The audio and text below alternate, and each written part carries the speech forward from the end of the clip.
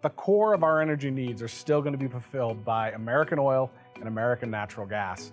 And what's great about coming to a place like Midland and Odessa and the Permian Basin is because I get to see and meet the people who are doing it every single day. All forms of, of energy are, are coming from here. And I think uh, education about that should you know, get out to the rest of the country. You know, think a lot of people think of the Permian just as oil and gas, and that's really about it. In Midland, Odessa, we say we all are in the oil field, regardless what business we're in. We're all in the oil field, and so every time the ebb and flow of, the, of anything like that, and it impacts all of us.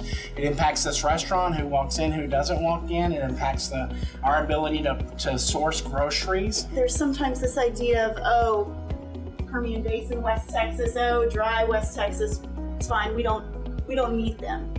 But that's such a missed opportunity. We have the brightest men and women out here who are working day in and day out, who either grew up here, have moved here, so that they can work in the energy industry. People have stepped up in amazing ways to make sure that we are all proud to be a part of West Texas and to operate and to live here.